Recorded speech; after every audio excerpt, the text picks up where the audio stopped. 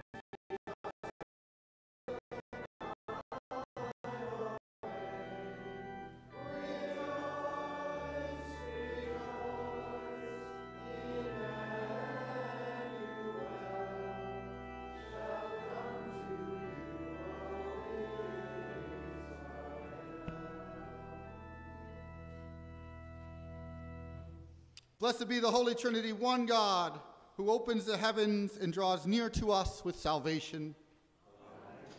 God is patient and merciful, desiring all to come to repentance. Trusting his promise of grace, let us confess our sin.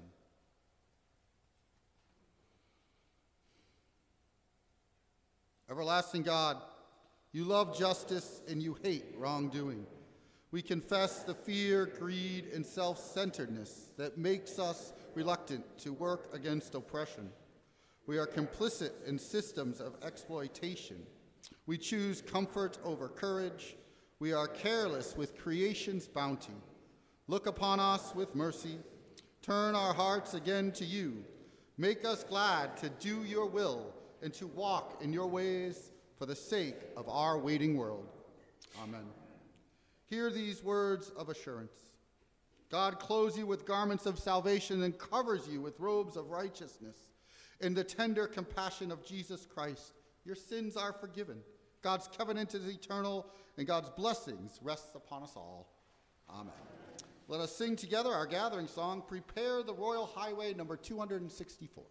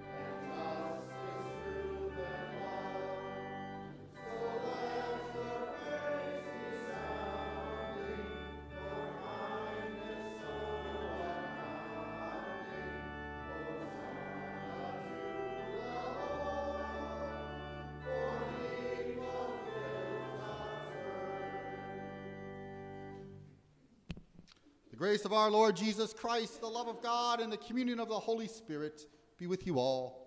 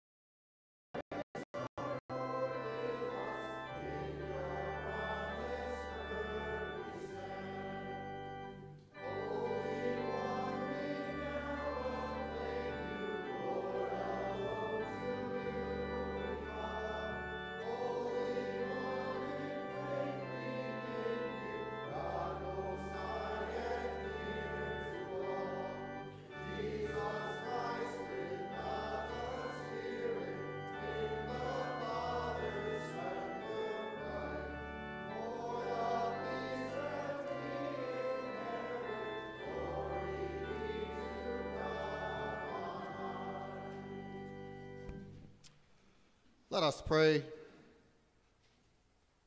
Stir up our hearts, Lord God, to prepare the way of your only Son.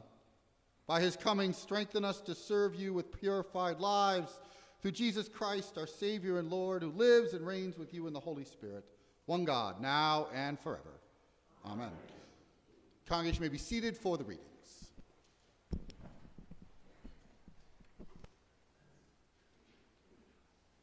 Our first reading is from the book of Isaiah, chapter 40.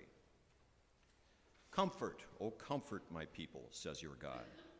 Speak tenderly to Jerusalem and cry to her that she has served her term, that her penalty is paid, that she has received from the Lord's hand double for all her sins. A voice cries out, In the wilderness, prepare the way of the Lord, make straight in the desert a highway for our God. Every valley shall be lifted up, and every mountain and hill made low. The uneven ground shall become level, and the rough places a plain. Then the glory of the Lord shall be revealed, and all people shall see it together, for the mouth of the Lord has spoken. A voice says, Cry out. And I say, What shall I cry? All people are grass their constancy is like flower of the field. The grass withers, the flower fades, when the breath of the Lord blows upon it. Surely the people are grass. The grass withers, the flower fades, but the word of our God will stand forever. Get you up to a high mountain, O Zion. Herald of good tidings, lift up your voice with strength, O Jerusalem. Herald of good tidings. Lift it up, do not fear. Say to the cities of Judah, Here is your God. See, the Lord God comes with might, and his arm rules for him. His reward is with him, and his recompense before him. He will feed his flock like a shepherd. He will gather the lambs in his arms and carry them in his bosom, and gently lead the mother sheep. Word of God, word of life.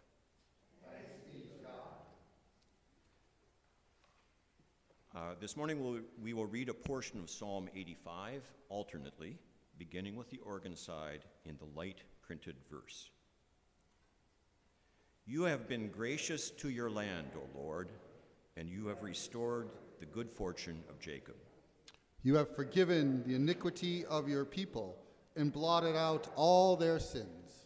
I will listen to what the Lord God is saying, for you speak peace to your faithful people and to those who turn their hearts to you. Truly, your salvation is very near to those who fear you, that your glory may dwell in our land. Steadfast love and faithfulness have met together. Righteousness and peace have kissed each other. Faithfulness shall spring up from the earth, and righteousness shall look down from heaven. The Lord will indeed grant prosperity, and our land will yield its increase. Righteousness shall go before the Lord, and shall prepare for God a pathway. Our second reading is from 2 Peter chapter 3.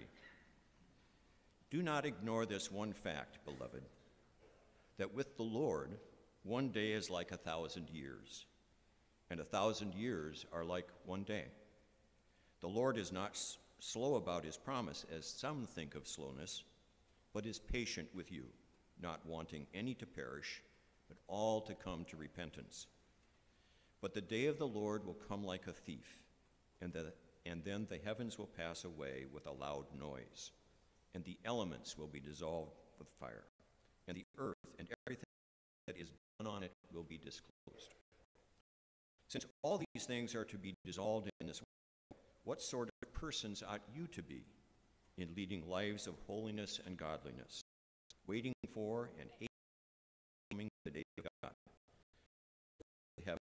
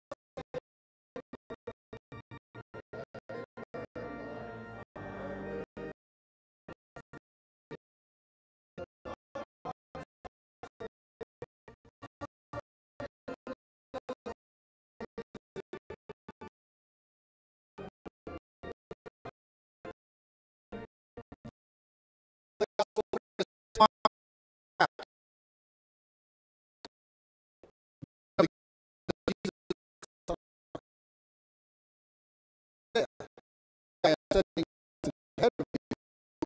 The and crying out the wilderness, "Prepare John the Baptizer appeared in the wilderness proclaiming a baptism of repentance for the forgiveness of sins.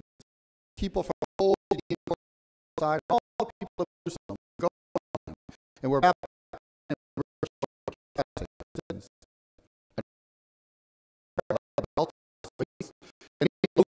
wild The one who is in the power of God is coming after me.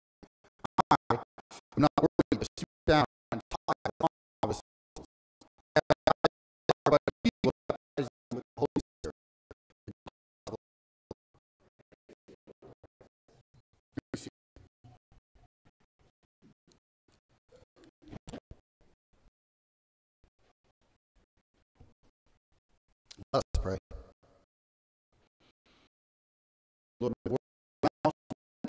hearts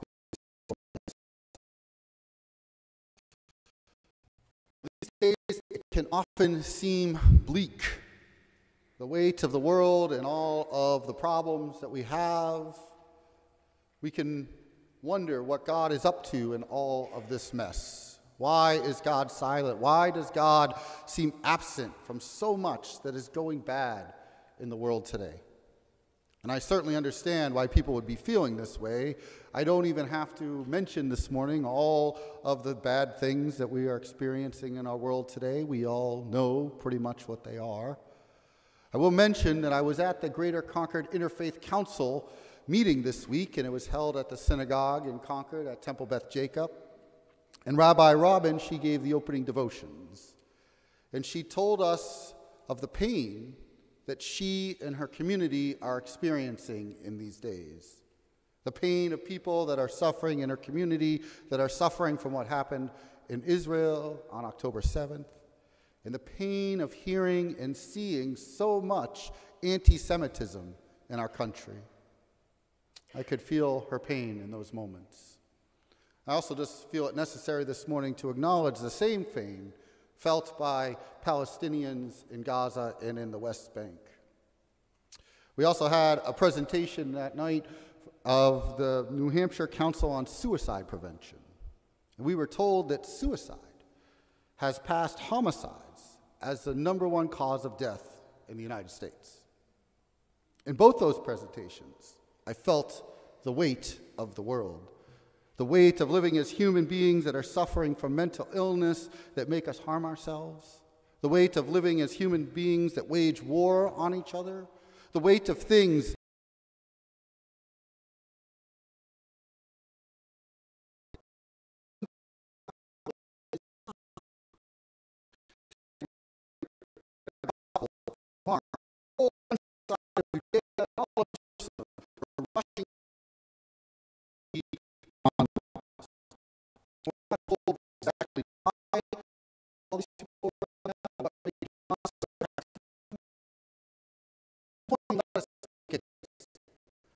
there is a 400 year period between the end of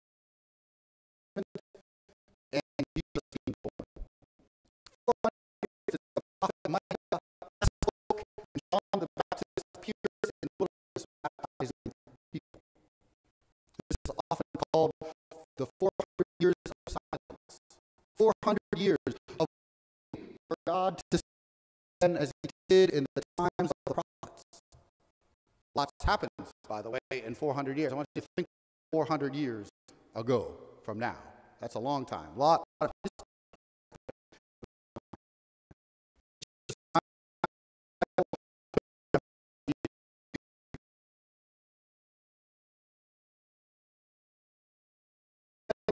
people.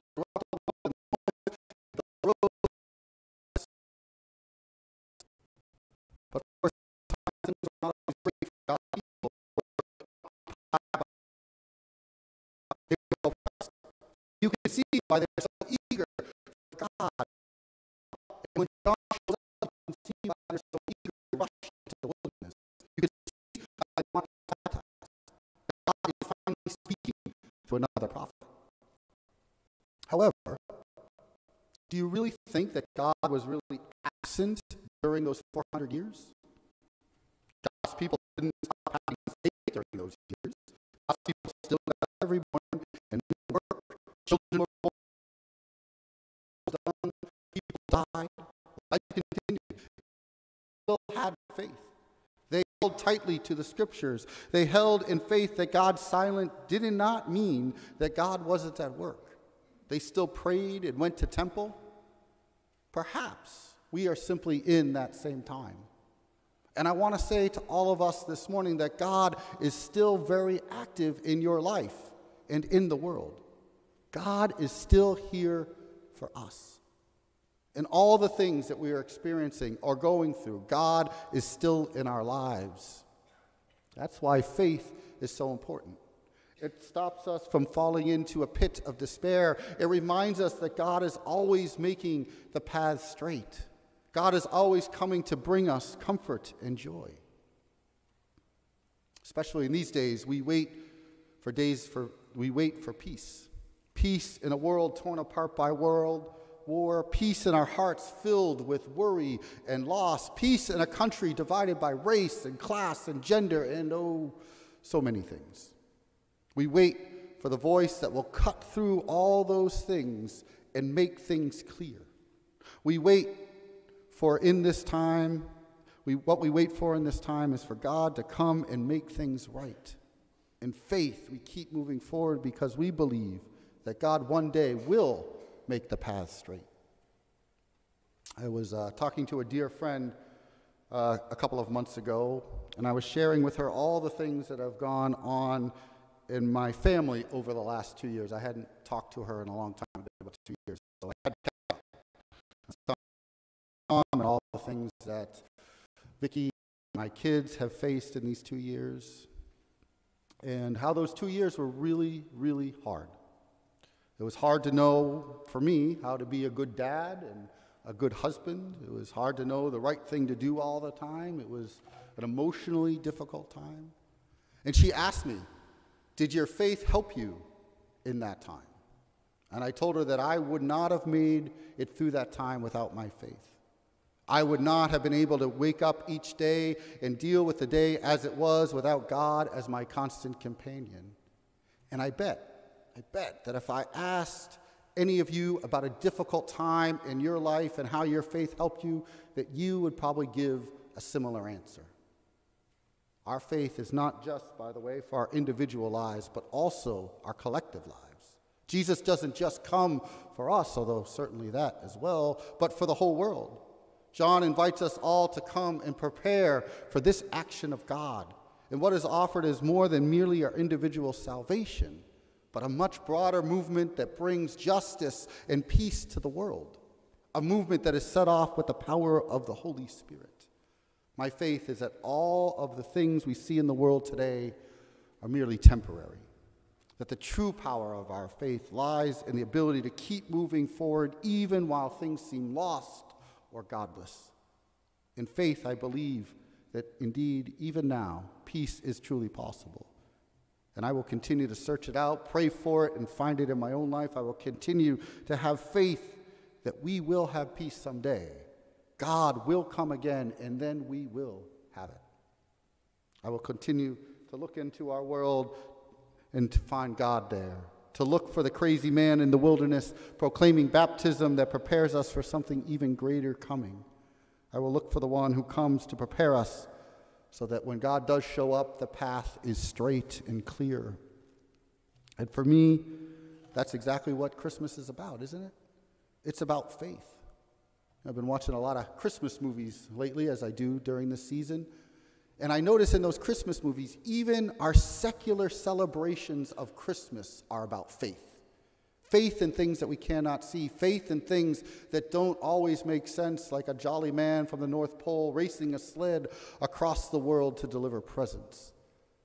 That story we tell is about faith, and its power and significance is for all who believe in it and what it means to give, some, to give gifts away without expecting anything in return, that we have joy, peace, and love in our lives. The weight of the world's problems might, think, might make things seem bleak this Advent. It might appear that we are living in a time of God's silence. But if we can see things through the eye of faith, if we can see that God is at work even amongst the terrible things in the world and in our lives, in faith we hold on to all the best things about God and our lives. May you all have faith this Advent season. And may you know that God is not silent, but just preparing us for Jesus to come this season. Amen.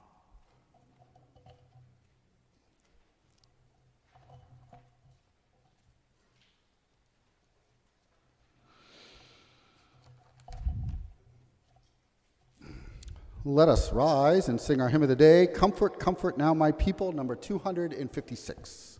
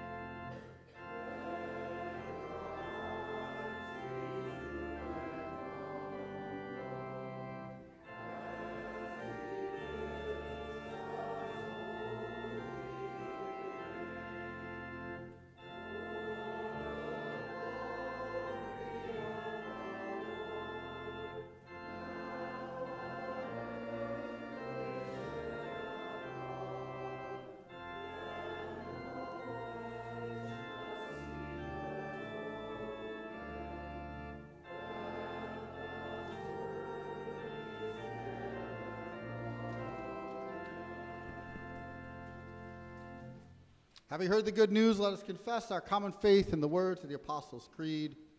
I believe in God, the Father Almighty, creator of heaven and earth. I believe in Jesus Christ, God's only Son, our Lord. He was conceived by the Holy Spirit, born of the Virgin Mary, suffered under Pontius Pilate, was crucified, died, and was buried. He descended to the dead. On the third day he rose again. He ascended into heaven. He the right hand of the Father, and he will come to judge living and the dead. Believe in the Holy Spirit, the Holy Catholic Church, the communion of saints, forgiveness of sins, the resurrection of the body, and the life everlasting. Amen. With hope and expectation, we offer our prayers for the church, the world, and all who await God's day of restoration. Send forth your faithful people with words of promise and forgiveness. Teach your church to be bold in revealing your good news in word and in deed. Merciful God, Receive our prayer. reveal your majesty in mountain peaks, flowing rivers, and blossoming wilderness roads. Heal the earth where it longs for renewal. Bring wholeness to the earth and to all its creatures. Merciful God, Receive our prayer. Turn the hearts of the nations towards righteousness and peace. Increase cooperation for justice between countries, commonwealths, political parties, and diplomatic leaders. In times of prosperity, direct leaders to be generous for the sake of all. Merciful God, Receive our prayer. Comfort your people with tender words of love and healing.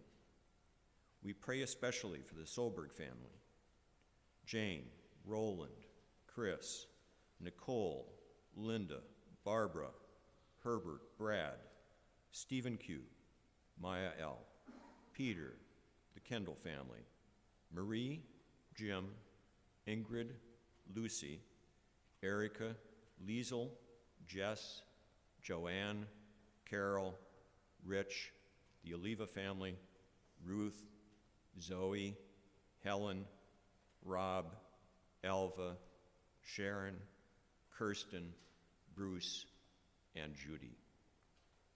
We remember our homebound, Betty Lee, and we ask that you care for all who serve our country, including Joshua, Daniel, Gus, Isaac, and Graham.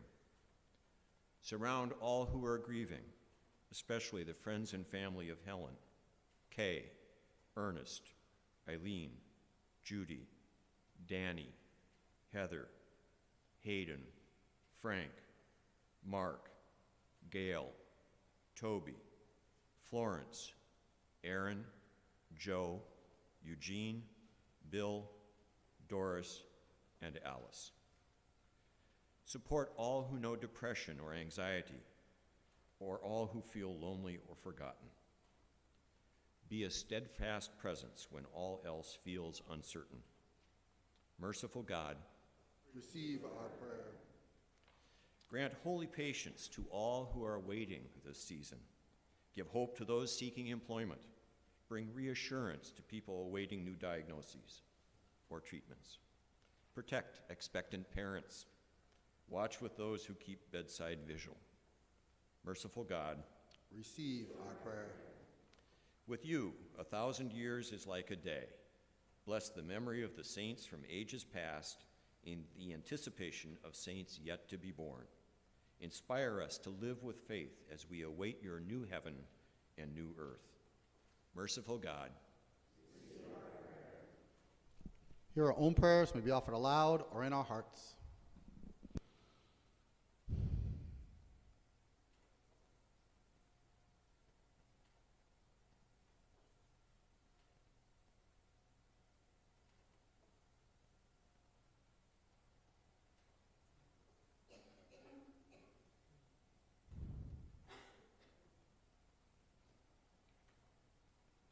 Listen to these and all our prayers, O God of hosts, and restore us with your great and everlasting mercy. Amen. The peace of Christ be with you always. Let us share God's peace with our neighbors.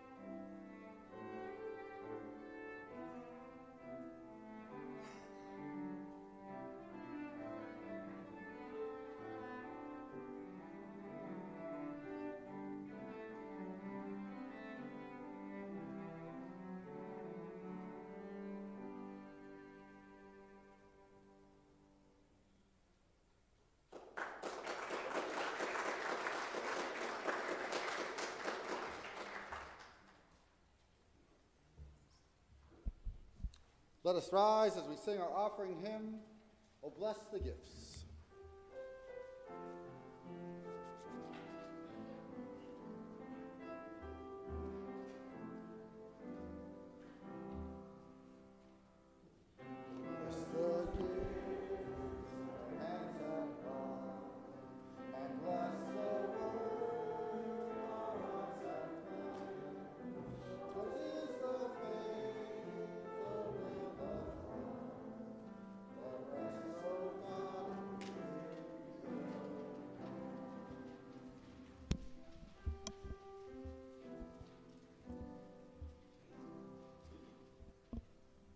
Us pray.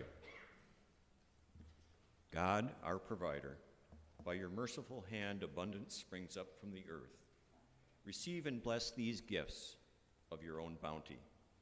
Let them be a sign of your steadfast love and faithfulness for all people, through Jesus Christ our Savior. Amen. The Lord be with you. Lift up your hearts. Let us give thanks to the Lord our God. It is indeed right, our duty and our joy, that we should all times and all places give thanks and praise to you, Almighty and merciful God, through our Savior Jesus Christ.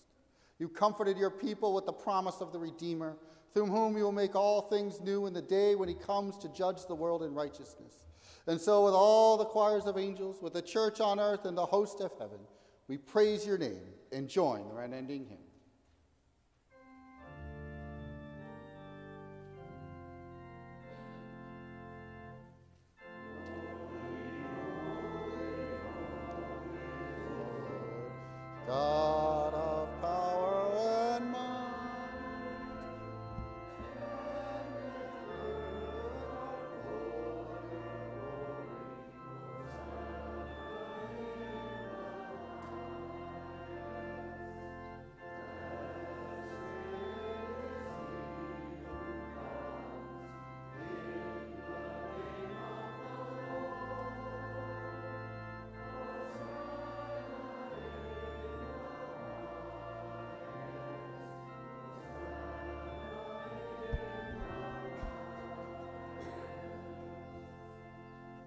Holy One, the beginning and the end, the giver of life, blessed are you for the birth of creation. Blessed are you in the darkness and in the light. Blessed are you for your promise to your people. Blessed are you in the prophet's hopes and dreams. Blessed are you for Mary's openness to your will. Blessed are you from your Son, Jesus, the Word made flesh. In the night in which he was betrayed, our Lord Jesus took bread, gave thanks, broke it, and gave it to his disciples, saying, Take and eat. This is my body given for you. Do this for the remembrance of me. And again, after supper, he took the cup. And after giving thanks, he gave for all to drink, saying, This cup is the new covenant in my blood, shed for you and for all people for the forgiveness of sins. Do this for the remembrance of me. Lord, remember us in your kingdom and teach us to pray. Our Father, who art in heaven, hallowed be thy name. Thy kingdom come, thy will be done, on earth as it is in heaven. Give us this day our daily bread, and forgive us our trespasses, as we forgive those who trespass against us. And lead us not into temptation, but deliver us from evil. For thine is the kingdom, and the power, and the glory, forever and ever. Amen. It is our teaching and our tradition that we do not celebrate at the Lutheran table, we celebrate at the Lord's table. And the Lord invites everyone here, everybody watching online, to come and share in this feast of God's mercy and God's grace. You may be seated.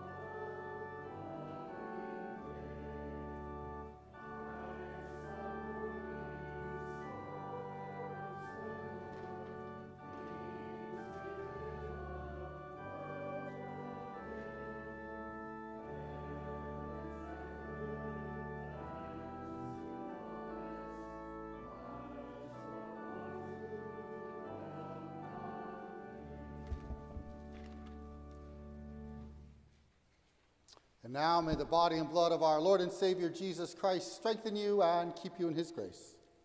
Amen. Let us pray. Generous God, in bread and cup, you have revealed your glory for all people to see together. Nourished by this meal, send us out to proclaim your good news of liberation and release. Brought to birth in Jesus Christ our Savior. Amen. A couple of announcements this morning. Uh, the first is uh, uh, at 12:30 today is our adult Christmas luncheon. Uh, if you're going, uh, you you pay the church. The church will pay the bill. So it's $27 per person. You can put it in the plate. Just make sure you put on somewhere that that's where it's going to go for that money. Um, we do have a couple open spots. If you happen to be free and you want to come, let me know after church, and we'll be happy to have you with us. Um, December 10th, next Sunday, is Vicky and I's open house. So after the 10 o'clock service, we'll go to the parsonage and we'll have some food together. And we will have Pastor John's Christmas quiz, which this year is uh, 19, Christmas in 1970s. So if you like bell bottoms and disco music, it is the quiz for you. Uh, after our open house, we are going to Franklin, New Hampshire, uh, to assisted living where Carl Grant, one of our members, is currently living, and we'll be singing for the residents there if you'd like to join us for that following uh, worship, uh, following the open house. Uh, December, yeah, December 19th at the Teetotaler, which is downtown, is Tea and Tunes. So we sometimes we have beer and hymns. This is Tea and Tunes. We're to drink tea or coffee or whatever uh, at the teetotaler and sing Christmas songs or whatever other hymns you might want to sing. So come out for that. That'll be a fun night. Uh, the Christmas box is in the back. So for those who don't know, uh, if you have a card for someone in the church, you can put it in that box and save yourself the postage and instead use the money you would spend on the postage to help somebody in need. That's the idea of the Christmas box, uh, so that you spend money on, on other things. Speaking of people in need, the giving tree, this is what you can spend your money on that you don't spend on postage. This is great. In the back, in the narthex, there's a tree. It has tags on it. The red tags are for our kids in our school. Um, so those gifts, if you pick up a red tag, those gifts come back wrapped. The other tags are for um, are for other kids, uh, foster kids. Those come back unwrapped. Do you got that? I'll say it again because I know it's confusing. If you pick up a red tag, wrapped, and those are for the kids at our school. We are having a uh, Christmas party for them, and Santa comes and gives gifts to all, the kids. So, um, uh, and then uh, so those are wrapped. The other ones are for foster kids and unwrapped. Both. Please make sure the tag you bring back the tag and put it on whatever gift, wrapped or unwrapped. We need the tag back. Yes, Linnea. Uh, just a reminder that for the giving tree for the kids in foster care, there's only a couple tags left, thank you very much. They do have to be back by, um, the sixteenth, we're going to deliver them on the seventeenth, so that they can get them back Okay. for their kids, if you, if you would. Well, I'm just going to say this. Everybody bring them back next week because th- this will just be clearer so you don't have to remember two dates. Everybody bring your presents back by next Sunday because we need to have the, the, the With One Heart presents back by next Sunday. So sorry, Lene, I don't mean to jump on you, but uh, uh, yeah, if you could, everybody just bring them back by next Sunday, then there's no confusion. That would be very helpful. So by next Sunday, all the gifts need to be, to be back. Okay. I, I'm not going to go over the Christmas Eve schedule. Uh, look online, and you can find it there. Just because I don't want to confuse, add more confusion to my announcements. There you go. Great. Thank you very much. All right. And now the God of peace bless bless you. The love of Christ sustain you in hope, and the anointing of the Spirit remain upon you now and forever. Amen. Let us rise as we sing our sending song on Jordan's bank. The Baptist cries, number 249.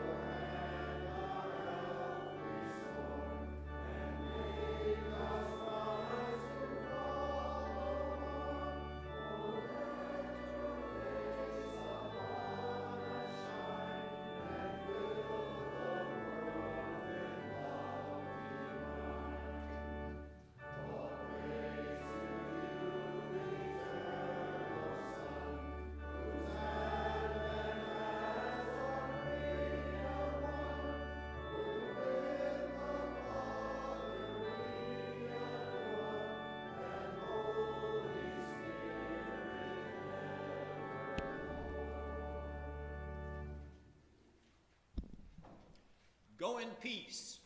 Keep awake.